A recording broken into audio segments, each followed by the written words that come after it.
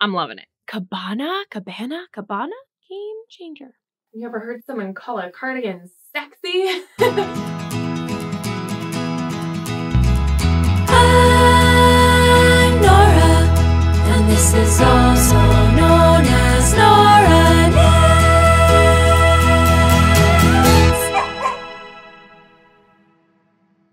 Hello there, I'm Nora, and you're watching, also known as Nora Knits. Thank you so much for coming to hang out with me for another podcast episode today. I feel like things are in a little bit of a chaotic state over here, but I'm pretty excited about it anyway. As I'm entering this podcast, I feel like I don't really know if we're going to be here for like 15 minutes or an hour. So we shall find out. I don't really have any other introductions for you today, so let's just go ahead and dive on in. I will say that if you are eager to find out how my dad's sweater fared in blocking, you're going to have to wait another week.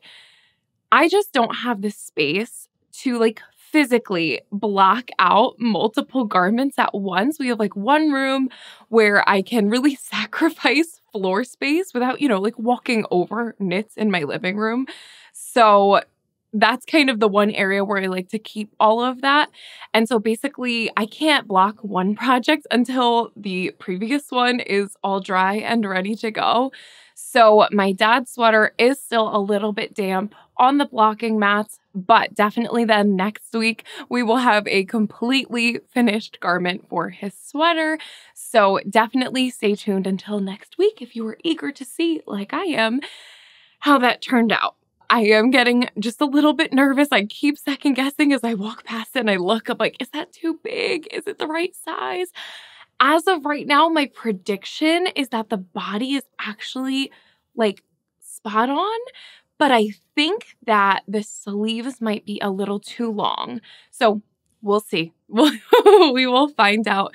As I'm filming this, my dad's birthday is a week and a day from today. So, yeah, definitely by the next time we chat, I should have the finished object photo and we'll probably be then gifting it to him on his birthday. So hopefully I can at least include like a little, I don't know, photo or something in that. so that's where we're at with dad's sweater. Let's go ahead and brush on past that. The next thing that I want to update you on is my Musselburgh that I knit for my boyfriend using Hedgehog Fibres skinny singles in the colorway Orca. I finished this last week, but I had not yet blocked it. So I just wanted to chat really quick about that process. So I have the hat here.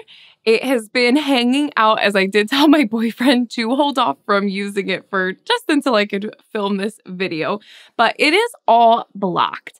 The first thing that I want to note about the blocking process with this yarn is that it totally softened it up.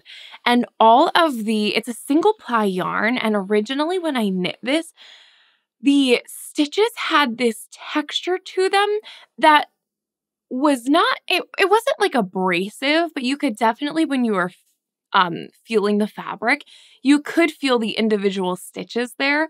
And so I was hoping that it would block out in such a way that that all kind of smoothed out and it totally did. So I love the fabric on this. It's very soft. It has that bit of fuzziness to it and I'm sure that this is going to look worn very quickly, but really that's okay as long as it is comfortable. The other thing was that I did want to say that when I blocked this, I did not experience a ton of color um, leaking into the water. I was nervous that that would be the case because when I started knitting this project, my hands would literally turn black while I was working on it. However, as I continued to knit on it, that wasn't happening as much. And then I really did not see too much, um, what is that called? I don't know. It, it didn't really turn the water. So I was very pleased with that. I know someone who knows way better than I do had mentioned, I think they called it crocking on your hands. So I'm assuming that that means that there's some sort of something going on with like the oils of your hands and then the, the dye in the yarn itself. So totally fine. I know that these things are to be expected. I just like to share my experience. So if you feel like you're having that thing too, then you know you're not the only one. So that is where we're at with the yarn. As far as the blocking goes, I do have the before and after measurements to give you. But I want to let you know up front that it still did not totally block out as long as I wanted it to be. It definitely still is not a hat that my boyfriend can comfortably wear with the brim folded up. And you can even tell here when I fold it up to like a, a normal, a proportionate fold, it really does, it looks short this way. So for him to wear this with zero slouch in the crown and cover his ears with a folded brim, it literally has to be folded like an inch and then it just kind of looks funny. And it's also then sits a little weird. It's just not totally right. So he has been wearing it, the, you know, when I had him try it on, he is wearing it just unfolded up. And that's giving him a tiny bit of slouch in the crown, which he doesn't really prefer. But we both decided it looked really good on him. so we're happy with that. Overall, pleased with the outcome, but a little disappointed that it isn't what I wanted it to be. And I've had a lot of people reach out and say, you know, don't give up on the Musselburgh pattern. There's so many factors that go into it. And I'm certainly not giving up on it. I'm, I'm not knitting it again anytime soon just because I want to try other hat patterns. But I I am curious to know if you've managed to get, and this was the adult size large on a nine stitch per inch gauge. So if you have knit this pattern and you've been able to get a full size hat that folds up at a proportionate, you know, amount, knitting at a similar situation, fingering weight yarn, adult size large. Can you let me know what yarn maybe you, you used for that? Because I'm I'm wondering if perhaps this particular yarn just didn't quite have the yardage that another fingering weight yarn might have. And I haven't done any digging into this. This is literally me theorizing on the spot here, just because I am. I am still a little bit disappointed by it. But we really love the color. We really love the look of it. And it'll serve a purpose for him in in the way that it's gonna work for just like more fall weather. Definitely, it's not quite warm enough for a winter hat. He's still been wearing the hat that I knit him as my literal first ever knit project as his winter hat because it's just super thick and super, super warm and a little too big. So that's where we're at on this. At this point, I will have posted the finished measurements on the screen here so that you can see the difference in how much it grew. I just know that it wasn't enough. so I won't bore you with all of those details. You can go ahead and read that on the screen. And I am just happy to say at this point that this is a finish, officially a finished object and is totally done out of my mind now. So that's the Musselburgh. That's where we're at by Ysolda Teague, of course. I find it really interesting that in my 2024 sort of knitting intentions and goals, my plan was really to do my best to whittle down the WIPs. I feel like at the beginning of 2023, being a very brand new knitter, it was even not, it was never even an idea to knit more than one thing at once because that would just not be enough. Like, I, I don't have that wherewithal. And then as the year went on, I sort of was finding that stockinette was maybe not engaging enough to have as a monogamous project. And then cabling was maybe a little bit too involved to have as a monogamous project. And so I was trying to find a balance of those sorts of things between the boring and simple and mindless knitting, and then the engaging, challenging, slow moving process, intentional knitting. I've really been working on trying to find a balance, and it feels like every week I think, oh, this will be the way that I'm going to do that. And I still don't think I've totally figured that out yet. The latest that I stated I was trying to do was have no more than two WIPs going at once, one being a garment, one being an accessory, and one of those each would have to be the engaging and then the mindless. And I've been very loose with that as I've been coming out of having multiple projects. I'm still trying to tie up loose ends. And so I, I didn't want to hard and fast on that. I just know that that's what I'm working towards. So it feels a little bit funny that at this point I'm like, okay, so we have that's the finished object, the Musselburgh. My dad's ha- uh, sweater is basically a finished object, but I still have to put in the zipper and we'll have to see if I have to make adjustments. So that's still a WIP in my mind. And then I have a few more now. well, okay, that's that's wrong. Because of everything sort of being done at the same time, it then turned into me needing another project just to sort of get me by. And somehow that has become now another finished object for this week. So, the project that I told you about last week in the podcast that I had just cast on as sort of a palate cleanser as a way to entertain myself while the Korshavn cardigan was still cardigan? the Korshavn cardigan was still drying. It's winter. Um, dad's sweater needed to be blocked. The Musselburgh needed to be blocked. Everything was just so in that in between stage. So I decided I would cast on the Boulevard bag by Lily Kate Makes, Lily Kate France. And I finished that yesterday. So here it is. now, because of all of my blocking situations, I I never wound up blocking this, and I do think that it could benefit from even a steam block just to kind of even everything out, but it's a bag and I do figure that as I put things in here, it's going to fill out the shape anyway and it'll wind up getting kind of stretched out. I'm not too concerned about it. But this was a project that wound up taking me a total of seven days. And that's largely because of the fact I did not knit the strap that goes along with this. So, if you didn't know already, this is the Boulevard bag by Lily Kate France, like I said, and it is a fully knit crossbody bag that includes this double knit strap as well as this little crescent moon shaped purse and you are intended to sew a zipper into the top of it and then the strap typically would go on. I decided not to knit the strap for mine, so all I had to knit was this little bag and it really did work up so quickly. It's done in two halves and honestly the knitting was done in a matter of like 3 days.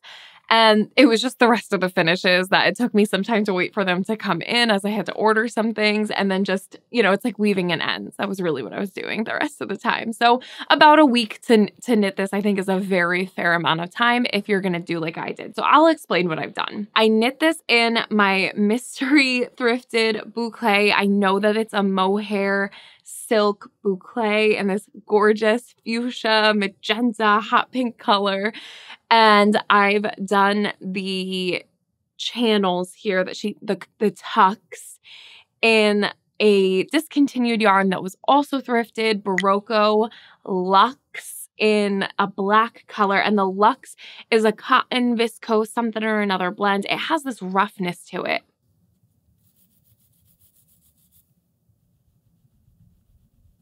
I don't know if you can hear that, but this is what it sounds like when I pet the mohair.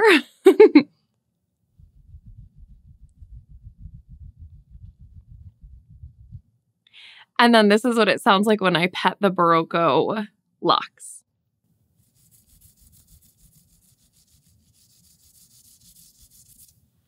Does that give you an idea of how rough it is? So I didn't know what I wanted to use it for anyway. I was glad to find a project that I could incorporate it into.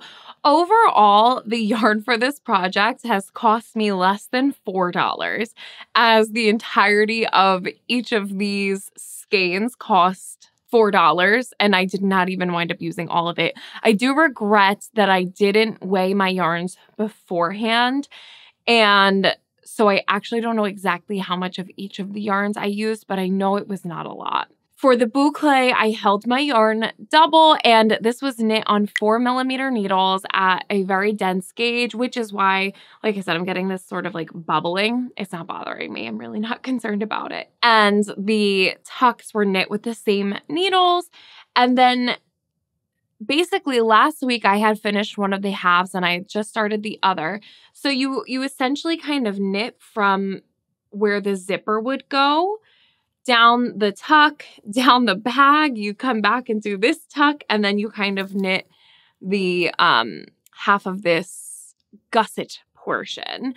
And you do that twice, and then it's three needle bind off, sewn together. And then you go ahead and add the zipper. I wound up purchasing a zipper from Joann's, and this is a nine inch zipper. And I went with this one because it had the gunmetal zipper metal that I was going for with the rest of this bag. And then because I didn't want a double knit button or a double knit strap, I, I felt like this bag needed a bit of hardware. I wound up purchasing this chain purse strap on Amazon and it actually came with this little leather tassel, which I just thought was a fun touch. And then I also purchased these gunmetal D rings. And so what I had done was follow the tutorials provided in the pattern for assembling the purse portion. And at that point, each of the corners were not attached in the tucks. That was something that I had to go back and I just was weaving in the ends and sort of grafting them together, but I didn't do it in any sort of tidy way. Also, that was all after stuffing each of these channels with zip ties, which I didn't have long enough zip ties to stuff in there. So I wound up having to purchase some. And I think each of these channels has about six zip ties inside of it, which I feel like is a lot. But she said just stuff in as many as you can. And that's what's really helping it to hold its shape. And so once those were in there, I went ahead and just grafted. It. I mean, very sloppy, but you really can't tell. Um, all the corners together.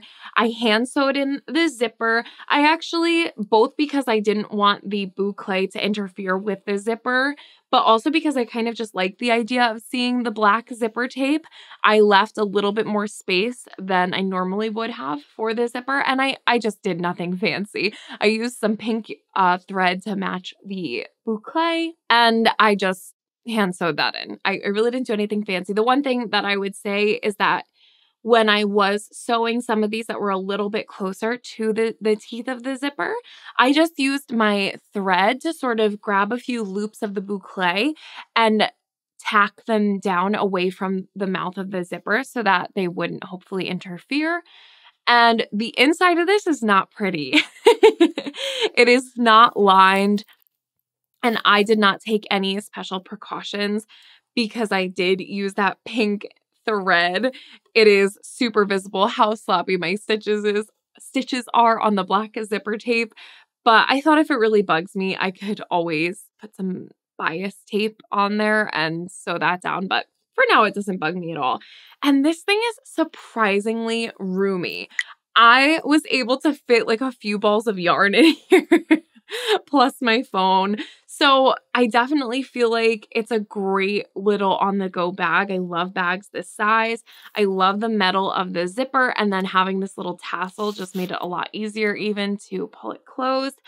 And then the purse strap I purchased this one, like I said, that has these lobster clasps on the ends and then the D rings. So, all I did to manage the D rings, because that's not normally part of the pattern, as it is just a sewn on double knit button band, oh, button band, my gosh, double knit strap, I simply took a couple D rings and the black Berroco Luxe and a crochet hook.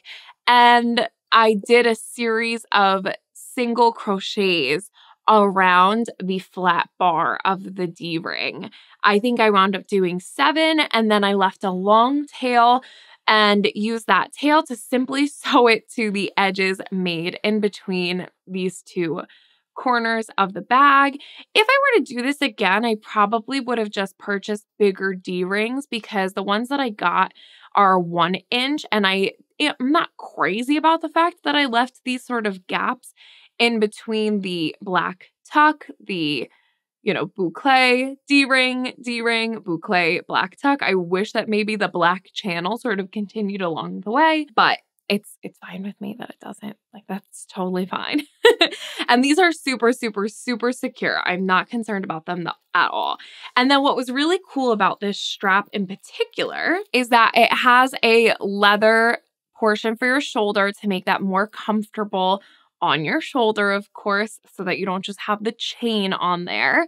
And then it has the gunmetal chain, like I enjoy. That's my preferred metal for my bags. And then the lobster claw on the end. So I can wear this purse a few different ways one of them and I'll I'll do my best to kind of model this, but one of them is just by utilizing the full length of the strap and attaching the lobster claws to each of the D-rings. Another though is that I could loop the chain through the D-ring, pull it out and then secure it back to itself. And that would give me the look more like Lily Kate has in her photos, where the purse is sitting on her chest, sort of her torso. And then the way that I think I'm most likely going to use it is by doing that where I put the chain through the D ring, loop it back on itself, and reattach it, but only on one side. And that gives me a good length of purse where I feel like it's nice and snug to me. It's not too low where it's flopping around as it is, I think, with the longest form of the chain, um, but it's at a nice, comfortable height. But I really like the fact that I have complete customability and options for this. So if I was traveling and was in a city or something and really wanted my bag close to me, I could utilize the shortest strap. And then if I'm going for something a little bit more casual and wanted to utilize the longest option, I can. So this was really fun to me. I honestly, after having knit this the way that I did, I'm not sure that I would ever even bother knitting the strap because I feel like the versatility of this is just too much fun. And honestly, if I were to if at some point I felt like the metal was maybe too severe, which is exactly why I chose metal, because I wanted something to roughen this pink fuzzy bag up. I could essentially just purchase a couple of lobster clasps and knit the double knit strap, attach it to D rings, and then add the clasps so that I could have even multiple straps for this. I just love the versatility of this. Um, it makes it more functional for me. So I'm thrilled with this project. I'll probably just give it a quick little steam block at some point when it really bugs me, but for now, I'm happy that it's done. And it was a perfect palate cleanser project. And um, I couldn't recommend it more. It was a great pattern. It was very fun, a quick knit. If you're in the need for just something, a refresher, I definitely, definitely recommend this pattern. So that's the Boulevard bag by Lily Kate France. This took a full week to complete, really just a few days to knit, but I will include all the time that it took and everything included. That's the yarn, the zipper, the zip ties, and the strap. This project total came out to $36.95. And that was with the pattern being gifted to me. So thank you so much to Tracy who gifted me the pattern, but that was how much I wound up spending on this whole project. So with the pattern, it would have been more like $40. I'm thrilled. I think it's going to be a great little pop of color for my wardrobe. And yeah, again, couldn't recommend it enough. So, like I was saying before, I know that this all seems a little bit counterintuitive to my intentions to only have two WIPs at a time, although I guess now I do. And it does sort of fit my my plans. But I will show you the first WIP which you've seen before, and then the second one that you have not.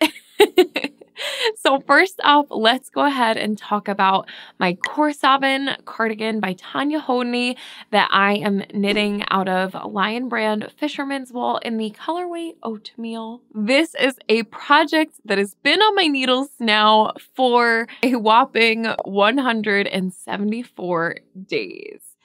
That's right. This is the project that has just continuously fallen to the back of the WIPs, and it's time for it to have its moment. so I am so excited to share with you that I have indeed started my double knit button band on this cardigan. And the reason I feel like I had put this off for so long is because I'd never done a double knit button band before.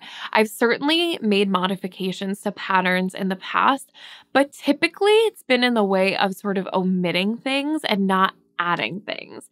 So this pattern is written to have a ribbed button band on it and I have knit this pattern once before doing exactly that. And I felt like for this version, I wanted to have something that was more streamlined, more clean, more classic. And therefore I decided to figure out how to knit a double knit button band. At this point, I think it's safe to say that I'm actually exactly halfway through that button band. I don't even know how to hold this. Let's go ahead and just show you like this. You can see here. Here she is.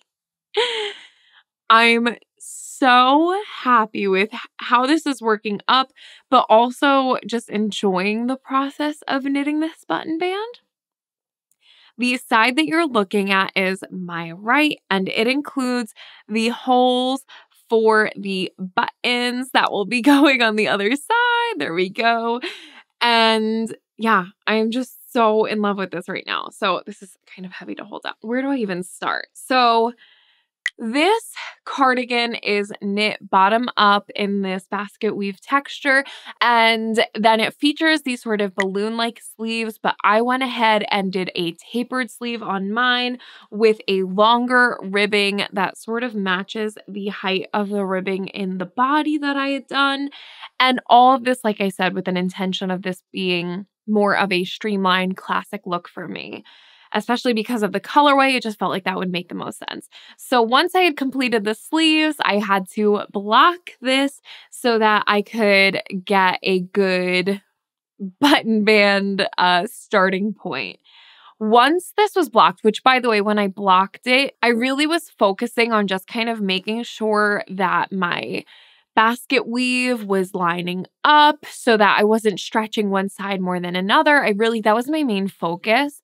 And I did not bother at all with like doing anything about the sleeves. So those definitely at this point still need to be properly shaped in their in their final blocking. But once I had this finally dry and ready to go, I followed the tutorial that Veronica Lindberg uses Kutovakika in her Darling Cardigan tutorial on YouTube to start my button band, which it started with an Italian cast on, which is perfect because that is actually how the ribbing was also, it's a bottom up. That's how it was cast on as well. And my sort of seam or that the point where my button band and the body are, are meeting, there's the slightest bit of a little bit of like distance, a little disconnect, but I'm hoping to just weave in the ends and bridge that gap a little bit better. I decided that for my button band, I wanted to have about the width of two of these basket weaves. So you can see here that we have the basket weaves kind of both going in their in their columns. And so I really wanted to sort of match that width to have a, a rather substantial button band and something that referred back to the rest of this pattern so that it looked like it was always meant to be there. In order to do that, I cast on 16 stitches for the double knit button band so that once it was actually knit, you'd be looking at eight stitches across. So looking at this, this button band is eight stitches wide, but because we're doing this in double knitting, it is in fact 16 stitches worked.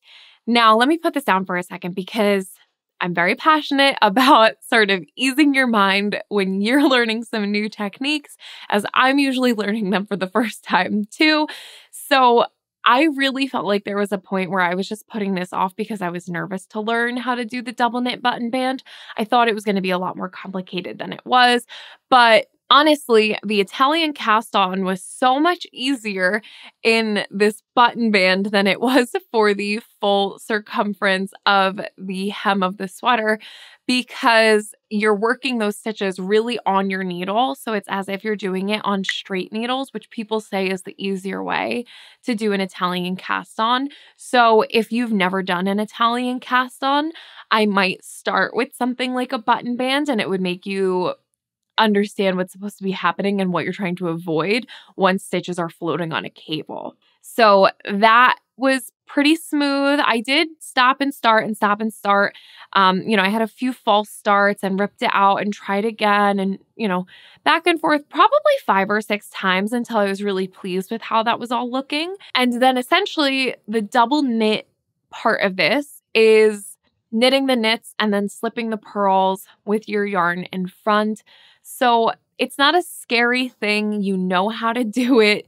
Just watch a tutorial, but it can sound very daunting. A lot of people tend to refer to double knitting as knitting everything twice. And I understand that that's what's happening, but it's not this particularly it's not particularly more laborious than just knitting and purling and knitting and purling. It feels like less work than that. It's just taking longer. I find it to be pretty medi- meditative because it requires my focus, but it doesn't require thinking. like I have to pay attention to it or else I might mess something up, but it's not anything scary or daunting or, or difficult to do. It's just something that I have to focus on. So I enjoy that part of it. And then essentially what winds up happening is you knit and slip your way down one way. And then when you come back and I had picked up the stitches around the opening of the cardigan, you are just knitting together the last stitch of the button band with that stitch that you picked up for the perimeter of the sweater and repeating that over and over. No big deal, totally doable.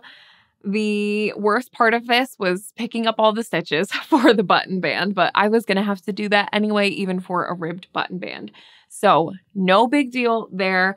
Now, for the buttonholes themselves, based on what I had heard from other people, the tutorial by Kimmy something who does petite knits tutorials was a good one to watch as she has this special way of not breaking the yarn for the button bands. Now, I find that kind of misleading now that I've done it as you do break the yarn. I guess what I've gathered is that you're not knitting, approaching a buttonhole, breaking the yarn, knitting a buttonhole, breaking the yarn, and then having four ends to weave in, but rather you only have two ends to weave in. It's almost equivalent to knitting, what would I compare it to? Short rows or something, where, I mean, you basically just wind up when you when you approach the the bottom of your button band when you or sorry your buttonhole when you reach that point you wind up just knitting the amount of stitches high or tall that you're going to want your button band to be back and forth on one side and then cutting the yarn and doing the same on the other. Like it's nothing it's nothing scary. And then once you get to the top, you just continue on knitting, you know, back and forth again.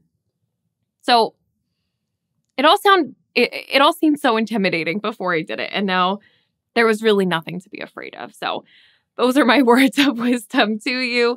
I, as you can probably see, have these green stitch markers here, and that was where I decided I would lay out my buttons. I have four buttons that I'm so excited to put on this cardigan, and this seemed to be the best place for them. So I have one that's going to be kind of in the center of the ribbing at the bottom. So there's mm, four or five rows beneath that of just standard knitting. And then they're each spaced out, I, I don't know, two and a half inches or so. And then the last one is really exactly where the v-neck of the cardigan kind of turns. It's just underneath that. So I, um, yeah, I'm, I'm just enjoying this so much. I feel like it looks really sturdy and once this is blocked, I feel like it's going to have just such a nice, I don't know, it looks very luxe to me. I haven't tried this on since I've been doing this. And let me just grab a stitch stopper to put on here so that I don't lose any stitches. All right. I had the gnome handy, so he's on there for now. I will leave my double pointed needle that I am using and let's go ahead and try it on. Oh yeah, I I dropped down to this whole cardigan was knit on 4.5 millimeter needles. The button band, or sorry, the ribbing was knit on four millimeter needles, and so I am also using four millimeter needles for the button band. I'm definitely not wearing the right shirt to wear under this today, but it will have to do. Oh, it feels so good. Oh my gosh! This is my first time trying it on. that looks so cool. Stop. It's so hard when you're trying on a cardigan that doesn't have a button band yet to see how things are going to work out because there's so much space left where you're gonna have a button band. And so things are just like kind of sliding off of your body and nothing quite looks, you know, just right. But holy cow, is that ah. not so mm, looks that quiet luxury look I feel like is what we've got going on here. It's really not even too bad right now not having been blocked yet, but after blocking, I think that's going to sit just absolutely perfectly. I love this sort of, it's got like a, have you ever heard someone call a cardigan sexy? I feel like this little swoop that we're getting here is a rather sexy cardigan swoop. I do think maybe my sleeves are just like a little bit too big and almost like eh, that's almost what my arm looks like under here, this like little gobble part, but I'm okay with it. Um, it's I, I really just want this to look, I don't know, easy. That's what I want it to look like. So I feel like it has that look to it. I think maybe if there was a ton of positive ease up here, like this is where my actual arm is, and then I have maybe two inches total of positive ease under that up here. Maybe it would look kind of bad, but it's really just in the form forearm area where I think I probably could have started decreasing earlier, but I'm okay with that. It doesn't bother me too, too much. And I think once I really block everything out a bit more, it'll look even better. But I just think this is exactly what I wanted it to be. Let me get close so you can see this button band in all her glory. So I have yet to weave in the ends that I left for those buttonholes. I'll wrap all that up at the same time once everything else is getting finished up. I know some people will say that my top button is too high. I put it there intentionally, and I did this actually with the first one that I made too, because I do kind of like to wear a v-neck cardigan as a blouse. I like the option for it to be closed a little bit higher than it would be had my buttons started just on the straight edge of the cardigan and not, you know, at the v-neck, but I'm I'm really fine with the place the placement of it. So I, I enjoy knitting the double knit button band. I like how substantial it looks and feels. I am so hoping that by the next time we chat, this is done. um, it is taking a while, but I, I'm enjoying every moment of it. So I will definitely be knitting a double knit button band again. And I highly recommend those tutorials that I referenced. I'll try to link them in the description so that if you are planning to knit a double knit button band and need some resources to help you along the way, you can check those out too, because I, I did find them very helpful. So that's the course Korshavn cardigan right now. It's really warm, it's really cozy. And hopefully I'm wearing it in next week's video. If not, hopefully it's just because it's still damp from blocking, but thrilled. So that is the Korshavn cardigan by Tanya Hodney that has been on the needles for 174 days, but hopefully not more than 180. Fingers crossed. so here's the part where I am knitting something I cast it on that I had absolutely no intention of doing. But I found myself just really needing something that I could knit on and have for me. I knit the sweater for my dad, and that was fun. And I thought that the Boulevard bag would really scratch the itch of having something for myself, and especially knowing that the Korshavn's going to be done soon, and that's for me too. I have another gift knit that I think I will be doing next.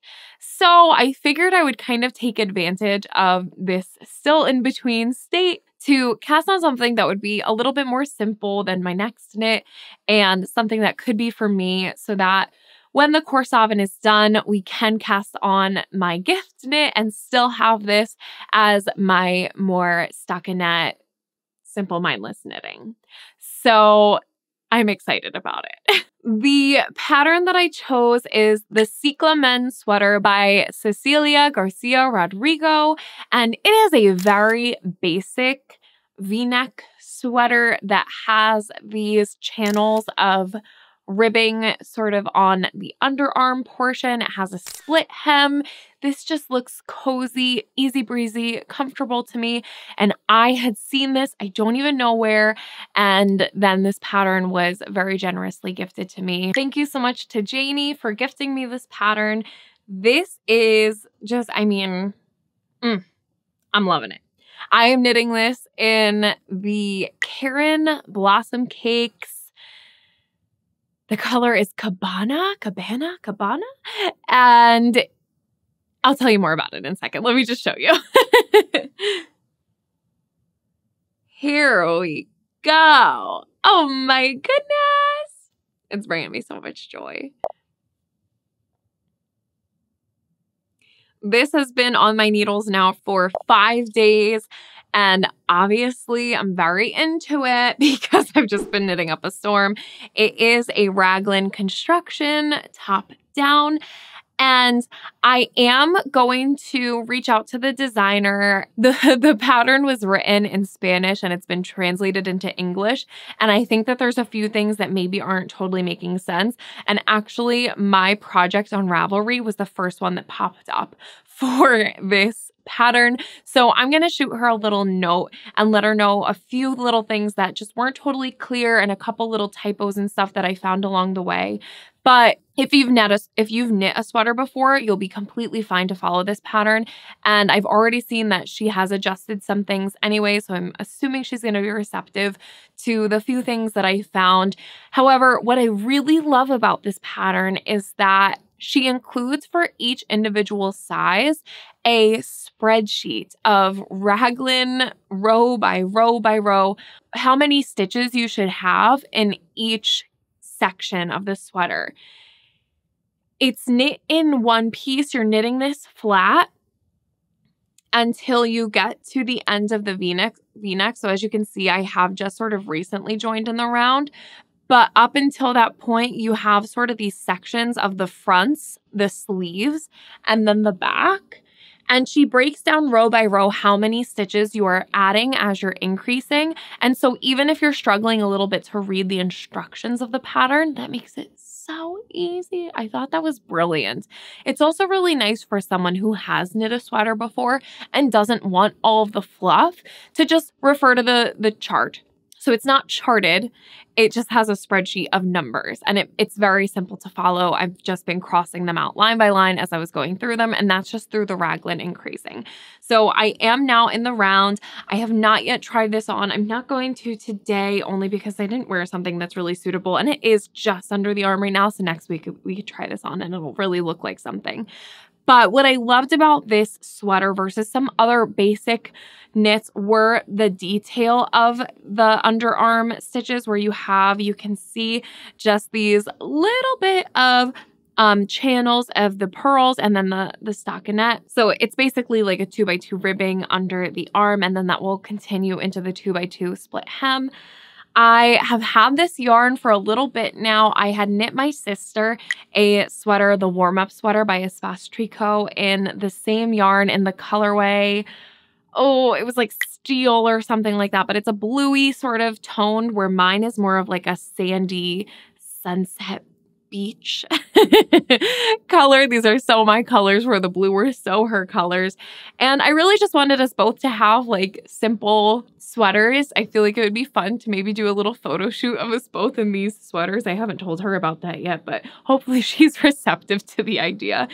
And yeah, this was in my winter knitting plans. I wanted to knit a basic sweater out of this yarn to sort of replace a simple sweater that I bought literally, I think, over 10 years ago that I love to have as, you know, something to throw in the car in the summer to throw on if it gets chilly when we're out and about at night and something like that. So, so, so simple. It has this striping to it. The yarn is an acrylic and cotton blend and it's in that sort of chainette blown yarn style. So, I believe that the cotton content is the chainette itself and then the fibers blown in are acrylic. So it has a little squeakiness to it and whatnot. But for a basic sweater, how nice is it going to be to like not worry about this at all? I had purchased the cakes when they were on sale earlier in 2023, and I've had them hanging out just waiting for the perfect time to cast on, and this seemed right. I am knitting this in the size six. And I think I was kind of in between sizes, and then my gauge is just a little bit off. So I compensated by sizing up. And I'm thinking it's just going to be a big old comfy sweater, sweatshirt vibes. That's what I'm going for with this. So I'm very excited to have it. I don't mind knitting with this yarn, and I am knitting this on five millimeter needles. So it's going nice and fast. And yeah, I've really been trying to prioritize Korshavn and then only work on this when I really need something in the round, TV knitting, those sorts of things, but this is not the main priority. And I think that that's important for me to differentiate in my mind so that I feel organized. So yeah, that's that's where we're at right now. While I have this out, I did just remember that I actually did put a progress keeper on it so that I would remember to move said progress keeper. And that way we can see how much progress was made last week. I'm using one of my sweet little gummy bear style ones from Black Pearl Magic. My friend Shayla. Thank you, Shayla. And we're going to pop that bad boy right over here.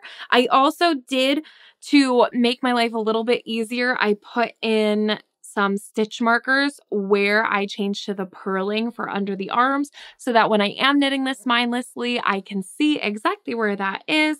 And then I have um, the center line marked out with a little gummy bear here as I am sure that that's going to come into play when we are doing the split hem. So loving this so far. Like I said, with those few exceptions of just some things that could be more clear in the pattern and um, just a few little little issues. I'm going to reach out to the designer and I am sure that it won't be a problem and I'll let you know if it is. Um, but I think this is going great so far. I'm really excited to have it. So Ciclamen sweater by Cecilia Garcia Rodrigo and it's been on the needles for five days. Actually, I will keep this out because I have one little acquisition that I am utilizing on this at the moment. I had a lot of people reach out uh, telling me that to solve my problem that I've been having with my cords, I have the Knitter's Pride Nova Platina interchangeable set. Those are the needles that I'm using at the moment, and I have graduated from the Knit Picks wooden interchangeable needle set. So those are all sort of the same company and all have the same cables, which are these really horrible cables that don't move, they don't bend, they have too much memory to them, and it causes issues not all the time, but sometimes. So, a few people recommended that I check out the Knitter's Pride Mindful collection for the cords, as they have swivel cords and the um is it a metal interior and then a nylon coating and that has been such a lifesaver. So as you can see, I'm twisting my needles here and the cords are swiveling with them. They have a little bit of like a crunchy sound when you do that, but it's not it hasn't bothered me one bit. They were about $6 a piece, I think $5 on Amazon. I wound up picking them up at a local yarn shop and I'll be purchasing more. I only bought them in two different sizes to see how I'd like them and I would like to basically replace all the cables that I have. So I'll probably just purchase them as I need them and fill out my set and make some changes because that has been, like I said, game changer. Game changer. So that is my one little acquisition for the week. If you have the Knitter's Pride or the Knit Picks interchangeable needles, then highly recommend the Mindful Swivel cords. It's just been such a better knitting experience. And we all need that in our lives, right? that was a at the moment, that's all I have for you. My plans are to finish the Korshavn cardigan, like point blank, just done. Ideally, it will also have been blocked by the next time we chat. Keep on chugging along on that bad boy, and maybe I should start gauge swatching for the next project, and hopefully, I'll have some more to tell you about that next week. In the meantime, if you would like more real time updates, I definitely recommend heading over to Instagram, where I tend to be most active in my stories. I love to pose questions and polls, and I find it so fascinating the information that you guys have all shared with me. So if you're looking for a little bit more daily interaction, then definitely go hang out with me over there at AKA Nora Knits on Instagram. And otherwise, if you enjoyed this video, I would so appreciate it if you could go ahead and give it a thumbs up. Go ahead and subscribe. You can ring the bell so that you're notified when videos just like this one go up. And yeah, just all those things that YouTube really likes. If you did like this style of video and just knitting content in general, I do post podcasts every Saturday morning at 9:30 a.m. Eastern Standard Time. And with that, you all. Big ol' thanks for watching, and uh, I'll catch you on the next one. all right, you guys. Bye.